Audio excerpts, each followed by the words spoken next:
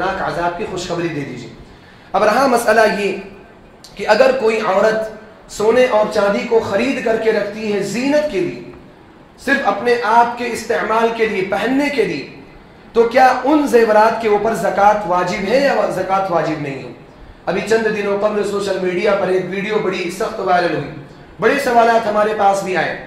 اس کے اندر جو صاحب ہیں، انہوں نے دو تین جو سعودی عرب کے علماء ہیں ان علماء کرام کے فتووں کو دکھا کر کے یہ ثابت کرنے کی کوشش کی کہ جو زیورات عورتیں استعمال کیا کرتی ہیں، ان زیورات کے اوپر زکوٰۃ نہیں۔ بڑا افسوس ہوتا ہے۔ آج کل فتوہ بازی بڑی آسان ہو گئی۔ ٹھیک ہے، اگر میں یہ کہوں کہ انہوں نے فتوہ دیا ہے تو یہ غلط بھی ہوگا، انہوں نے فتوہ نہیں دیا۔ لیکن اگر کوئی شخص عالم نہیں ہے، وہ مسائل کی باریکیوں کو نہیں سمجھتا۔ وہ اختلاف کے اسباب کو، اختلاف کی وجہوں کو نہیں سمجھتا۔ کیوں علماء کرام کے درمیان اختلاف ہوا؟ راجح کوئی بات کیسے ہوتی ہے؟ معاشرے کا کس طریقے سے خیال رکھنا ہے؟ عوام کے درمیان کن باتوں کو پیش کرنا ہے؟ جو شخص ان تمام چیزوں سے ناواقف ہے، اس کے لیے حرام ہے کہ وہ اس طرح کے کام کرے۔ آج کل ہم دیکھتے ہیں اس طرح کی چیزیں ہوتی ہیں۔ کوئی بھی شخص ایک اٹھا، ویڈیو بنانا بڑا آسان ہو گیا ہے، کیمرہ لیا، کسی کو بھی بیٹھا کر کے ویڈیو بنا دیا۔ اب وہ نہیں سمجھتا کہ اس ویڈیو کی خطرناکی کتنی ہوگی۔ عوام کے درمیان جائے گی، بھئی سب تو عالم نہیں ہے اور سب کو اختلاف کے بارے میں پتہ بھی نہیں ہے۔ لوگ شبہ کے شکار ہوں گے کہ یہ مولوی آج تک ہمارے اوپر ظلم کرتے ہوئے آئے۔ ہم سے ہمارے مالوں کی زکات نکلوا رہے تھے۔ اور یہ یہ شخص ان لوگوں کے نزدیک ہیرو بن جائے۔ اس طرح کی چیزیں ہمارے نزدیک بڑی آسان ہو گئی اور میں ان لوگوں کو نہ کہنے کے بجائے میں آپ سب سے خطاب کرنا چاہتا ہوں۔ آپ سب کو ایک بات کرنا چاہتا ہوں، کوئی بھی شخص ویڈیو بنائے۔ کوئی بھی فتوہ بازی کرے، اس فتوہ پر دھیان نہیں دینا چاہیے اللہ یہ کہ وہ آتھینٹک عالم ہو۔ ایسا عالم ہو جس کے منہج کو آپ جانتے ہیں، جس کے طریقے کو آپ جانتے ہیں، جس کے علم کی گہرائی اور گرائی کو آپ جانتے ہیں۔ اگر کوئی ایسا عالم فتوہ دیتا ہے، تو اس کے فتوے کو آپ قبول کیجیے۔ ورنہ اگر کوئی ایسے جوہلا ہمارے درمیان کسی بھی فتوے کو رائج کرے، تو اس کو ہمیں نہ تو کسی دوسرے کو فارورڈ کرنا چاہیے اور نہ ہی خود ان چیزوں کو سننا چاہیے۔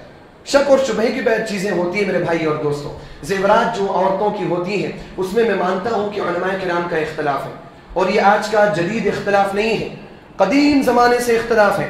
خود صحابہ کرام کا بھی اس میں اختلاف رہا ہے کہ جو عورتیں زیورات استعمال کرتی ہیں پہننے کے لیے، کیا ان میں زکوٰۃ دی جائے گی یا نہیں دی جائے گی؟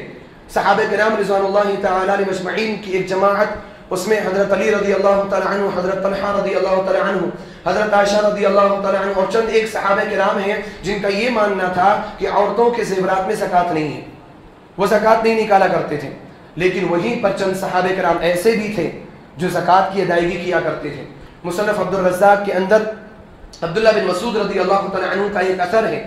ایک عورت ان کے پاس آئی اور اس نے کہا کہ میرے پاس زیور ہے، کیا میں اس کی زکوٰۃ نکالوں؟ عبداللہ بن مسعود رضی اللہ تعالیٰ عنہ نے پوچھا، کتنا ہے؟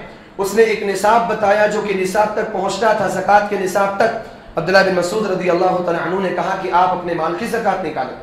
عبداللہ بن مسعود رضی اللہ تعالیٰ عنہ صحابہ کرام میں سے زیورات کی زکوٰۃ کے قائل ہیں۔ اور یہ بات اصولی بات ہے، یہ بات مصطلح کی بات ہے کہ اگر صحابہ کرام کا اختلاف کسی مسئلے کے اندر ہو جائے تو پھر مسئلہ ایک طرف یا ایک طرف، ایک طرفہ مسئلے کا حل ڈھونڈنے کی کوشش نہیں کرنا چاہیے، بلکہ دونوں طرف کے صحابہ کرام کے دلیلوں کو دیکھنا چاہیے، قرآن کریم کی آیتوں کو دیکھنا چاہیے، قرآن کریم کی آیت جو فیصلہ کرے، اس فیصلے کو قبول کر لینا چاہیے، اگر کسی مسئلے کے اندر صحابہ کرام کا اختلاف ہو جائے۔ تو یہاں پر یہ بات واضح ہو جاتی ہے کہ صحابہ کرام کا بھی اجماع نہیں تھا اس پر۔ صحابہ کرام کے ہاں بھی اختلاف تھا۔ کچھ صحابہ کرام کہتے تھے زیورات میں زکوٰۃ نہیں ہے اور کچھ صحابہ کرام کہتے تھے زیورات میں زکوٰۃ ہے۔ اب اگر کوئی شخص ایسے صورت میں آتا ہے اور ایک مفتی کا قول پیش کر کے لوگوں کے درمیان فتنہ پھیلاتا ہے تو پھر اس شخص کو آپ کیا کہیں گے؟ میرے بھائی اور دوستو، جن سعودی عرب کے علماء کرام کا فتویٰ دکھایا گیا، شیخ صالح الفوزان، اسی طرح سے مفتی عبدالعزیز آل الشیخ اور اسی طرح سے ایک اور عالم ہے، ان تینوں کے فتووں کو دکھا کر کے یہ ثابت کرنے کی کوشش کی گئی کہ زیورات میں زکوٰۃ نہیں ہے۔ میرے بھائی اور دوستوں، وہی دوسری طرف۔ سعودی عرب کے ہی بڑے علماء کرام اور وہ علماء کرام جن کو دنیا جانتی ہے، ان علماء کرام نے اس بات کا فتویٰ دیا ہے اور اس بات کی صراحت اور وضاحت کی ہے کہ زیورات کے اندر زکوٰۃ ہے۔ مثال کے طور پر علامہ عبدالعزیز ابن باز رحمہ اللہ، ان سے پوچھا گیا کہ کیا زیورات میں زکوٰۃ ہے یا نہیں ہے؟ ابن عباس رحمہ اللہ نے فرمایا، اختلاف اس میں پرانا ہے لیکن راجح بات یہی ہے کہ زیورات میں زکوٰۃ ہے۔ وہ زیورات جو عورتیں اپنے پہننے کے لیے استعمال کرتی ہیں۔ دوسرے نمبر پر شیخ محمد ابن صالح العثیمین رحمہ اللہ یہ دو شخصیتیں ایسی ہیں، پوری دنیا ان کو جانتی ہیں۔ شیخ ابن باز اور شیخ ابن عثیمین، کیا عالم، کیا عوام، ہر کوئی ان کو جانتا ہے۔ ان دونوں کے فتووں کو چھپایا گیا۔ ان دونوں کے فتووں کو کیوں ویڈیو میں نہیں پیش کیا گیا؟ یہ تلبیس ہے، یہ لوگوں کو دھوکے میں مبتلا کرنا۔ اگر آپ ایک بات کرنا چاہتے ہیں تو انصاف کی بات یہ ہے کہ دونوں طرف کی باتوں کو سامنے رکھیں آپ۔ اور ایک فیصلہ آپ نکالیں۔ ایک طرف کی بات کو آپ نے لوگوں کے سامنے دکھا دیا، لوگ فتنے کا اور شبہ کا شکار ہو گئے۔ اور اس سے بڑھ کر کے جو چیز ہے وہ یہ کہ سعودی عرب کی جو دائمی فتوہ کمیٹی اللجنت الدائمہ للفتہ اس فتوہ کمیٹی کا جس میں حیعت کبار العلماء، سعودی عرب کے بڑے علماء کرام اس کی نگرانی کرتے ہیں۔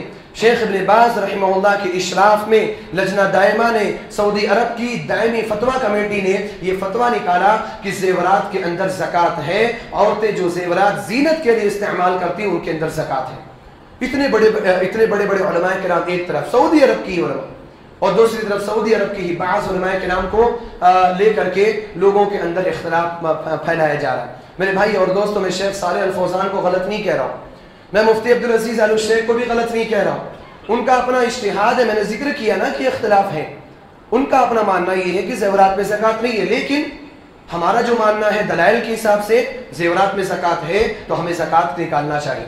زیورات میں زکوٰۃ کے تعلق سے شیخ ابن عثمین رحمہ اللہ نے اپنی کتاب الشرف الممتع کے اندر بڑی تفصیلی اور بڑی زبردست بات کی ہے۔ انہوں نے سب سے بڑی جو دلیل دی، زیورات میں زکوٰۃ ہے، وہ قرآن کریم سے دی۔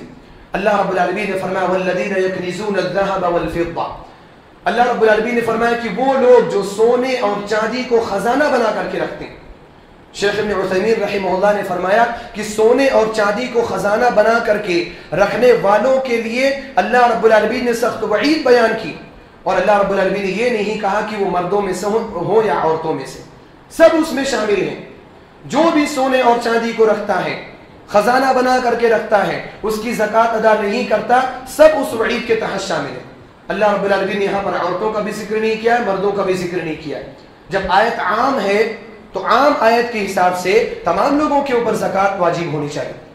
اسی طرح سے دوسری دلیل، زیورات پہ، زیورات پر زکوٰۃ صحیح مسلم کی روایت۔ حضرت ابو حریرہ رضی اللہ تعالی عنہ راوی ہے اللہ کے رسول صلی اللہ علیہ وسلم نے فرمایا، ما من صاحب ذهب ولا فضه کوئی بھی سونے والا، کوئی بھی چاندی والا جس کے پاس سونا یا چاندی ہو، لا يؤدي منها حقها وہ اس کا حق ادا نہیں کرتا، اس کی زکات نہیں نکالتا۔ الا اذا كان يوم القيامه تو اس کی حالت قیامت کے دن کیا ہوگی؟ صفحت له صفائح من نار۔ وہ سونے اور چاندی کو پگھلایا جائے گا اور اس کے تختے بنائے جائیں گے یا راڈ کی شکل میں اس کو تیار کیا جائے گا۔ فاحمي عليها في نار جهنم۔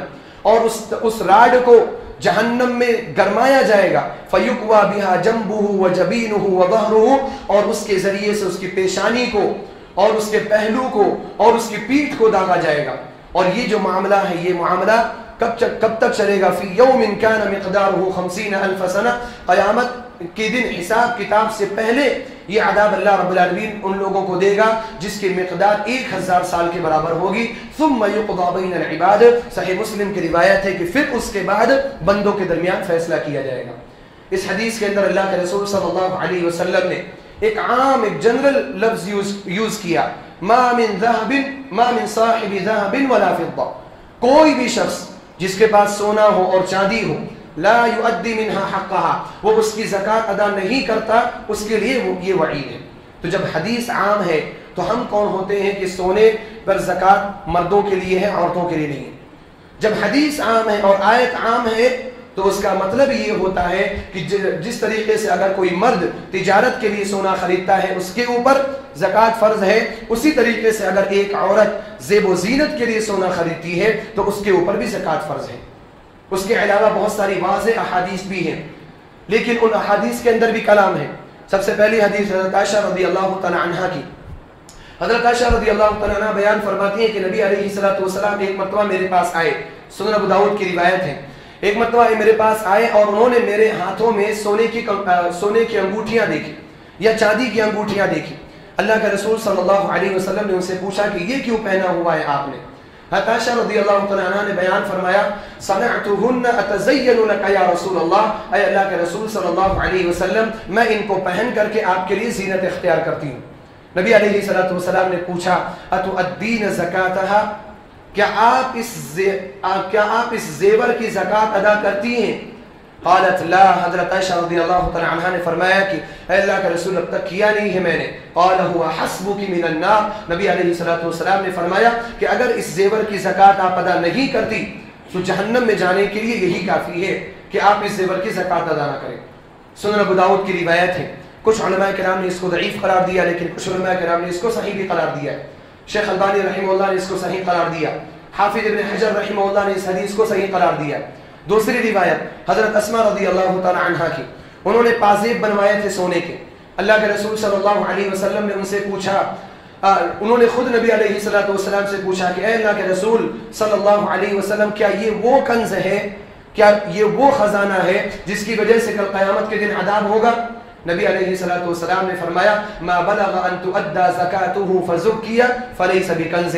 اگر کوئی مال، کوئی زیور ایسا ہے جو زکات کے نصاب کو پہنچ گیا اور اس کی زکات ادا کر دی گئی، فلیس بکنز، تو وہ کنز میں نہیں آتا، وہ اس مال کے اندر نہیں آتا جس مال کی وجہ سے اللہ رب العالمین عذاب دیتا ہے۔ اس حدیث کے اندر بھی اللہ کے رسول صلی اللہ علیہ وسلم نے واضح کیا کہ زیورات کی زکات نکالی جائے گی۔ یہ بھی سنن ابو داؤد کی روایت ہے۔ اور اس کو بھی بہت سارے علماء کرام نے ضعیف قرار دیا ہے، کچھ علماء کرام نے بھی صحیح بھی قرار دیا۔ ہے تیسری روایت جو ہے، حضرت عبداللہ بن عمر بن عاص رضی اللہ تعالی عنہما کی۔ وہ فرماتے ہیں کہ ایک عورت نبی علیہ السلام کے پاس آئی اور اس کے ہاتھ میں یا اس کی بیٹیوں کے ہاتھ میں دونوں روایتیں ہیں۔ سونے کے کنگن تھے۔ اللہ کے رسول صلی اللہ علیہ وسلم نے پوچھا کہ کیا تم اس کی زکات ادا کرتی ہو؟ اس نے کہا کہ اللہ کے رسول میں نے زکات ادا نہیں کیا۔ نبی علیہ الصلوۃ والسلام نے فرمایا ایسرکی کیا تمہیں یہ بات اچھی لگتی ہے کہ اللہ رب العالمین ان دو کنگنوں کی وجہ سے کل قیامت کے دن تمہیں جہنم میں داخل کر دے؟ نبی علیہ الصلوۃ والسلام نے جیسے ہی اس کو یہ بات کہی، اس نے دونوں کنگن اٹھا کر کے نبی علیہ الصلوۃ والسلام کو دے دیے اور کہا کہ ہما للہ و رسولہ یہ دونوں کنگن اللہ اور اس کے رسول کے لیے تو نبی علیہ صلاحت السلام کی جانب سے یہ تین احادیث۔ میں مانتا ہوں کہ ان احادیث میں کلام ہے۔ بعض علماء کرام نے اس کو ضعیف قرار دیا ہے۔ تو جہاں بعض علماء کرام نے ضعیف قرار دیا، وہی دوسری طرف کچھ علماء کرام ایسے بھی ہیں جنہوں نے ان احادیث کو صحیح بھی قرار دیا ہے۔ میرے بھائی اور دوستو، فرض کر لیتے ہیں۔ ایک منٹ کے لیے یہ مان لیتے ہیں کہ چلے زیورات میں زکوٰۃ کے تعلق سے کوئی بھی واضح دلیل نہیں حالانکہ میں نے دلیلیں دی ہیں، قرآن کریم سے بھی دی ہیں، صحیح مسلم کی روایت سے بھی دی ہیں۔ ایک منٹ کے لیے فرض کر لیتے ہیں کہ زیورات میں زکوٰۃ کے لیے کوئی بھی دلیل صحیح اور صریح طور پر نہیں ہے۔ لیکن میرے بھائی اور دوستو، شبہ تو پیدا ہو گیا کہ نہیں ہوا؟ شبہ ہو گیا کہ زیورات میں زکوٰۃ ہے یا نہیں؟ ہے اور جب شبہ ہو جائے تو احتیاط کا معاملہ کیا ہے؟ احتیاط کا معاملہ یہ ہے کہ ادا کر کے اپنے آپ کو بچا لیا جائے۔ کیونکہ اگر ہم نے ادا نہیں کیا تو ہو سکتا ہے اللہ رب العالمین عذاب میں داخل کر دے۔ لیکن اگر ہم نے ادا کر دیا تو کیا اس کے باوجود بھی عذاب ہوگا؟ ادا کرنے کے بعد تو عذاب کا کوئی سوال ہی پیدا نہیں ہوتا۔ احتیاط کا پہلو کیا ہے؟ احتیاط کا پہلو یہی ہے کہ انسان زیورات کی زکات ادا کرے۔ اور اسی چیز کو امام خطابی رحمہ اللہ نے سنن ابو داؤد کی شرح اپنی معالم السنن کے نام سے جو ہے، اس میں یہی بات انہوں نے یہی لفظ ذکر کیا ہے وَالْإِحْتِيَاطُ أَدَاؤُهَا۔ احتیاط اسی میں ہے کہ زیورات کی زکات ادا کی جائے۔ اور اسی طرح سے بڑے مفسر عرب کے اضواء البیان، الشیخ محمد الامین الشنقیتی رحمہ اللہ نے اپنی اضواء البیان میں اس آیت کے تحت بہت طویل گفتگو کی، بہت لمبا بہت لمبی بحث کی۔ اور اس کے بعد انہوں نے کہا کہ میں احتیاط اسی میں سمجھتا ہوں کہ زیورات کی زکات ادا کی جانی چاہیے۔ لأن من اتقى الشبهات فقد استبرأ لدينه وعرضه۔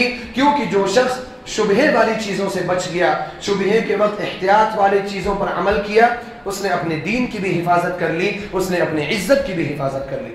میرے بھائی اور دوستوں احتیاط اسی میں ہے کہ زیورات کی زکات نکالی جانی چاہیے۔ اسی وجہ سے ہندوستان کے جو بھی اہل حدیث علماء ہیں، زمانے سے ان کا یہ فتویٰ ہے۔ زمانے سے صرف ہندوستان کے نہیں، بلکہ بہت سارے دنیا میں بہت سارے ممالک میں یہی ہے۔ ان کے وہاں کے علماء کا فتویٰ یہی ہے کہ زیورات میں زکات نکالنا چاہیے۔ میرے بھائی اور دوستوں ایسی صورت میں اگر کوئی شخص آتا ہے اور جو ایک، تقریباً ایک اجماع سکوتی والا مسئلہ بن چکا ہے، سارے لوگ اس پر عمل کر رہے ہیں، اب اس میں شبہ پیدا کرنا یہ بڑا خطرناک جرم ہے۔ بہت خطرناک جرم ہے میرے بھائی اور دوستوں اس طرح کی ویڈیوز آئے دن وائرل ہوتی رہتی ہیں۔ ہمیں جوابات دینے پڑتے ہیں ان کی لوگوں کو تنبیہ کرنا چاہیے اور ہمیں سب سے پہلے اپنے آپ کو سدھارنا چاہیے۔ کیونکہ ہم زیادہ ان کی ویڈیوز کو دیکھتے ہیں، یہ زیادہ ویڈیوز بناتے ہیں۔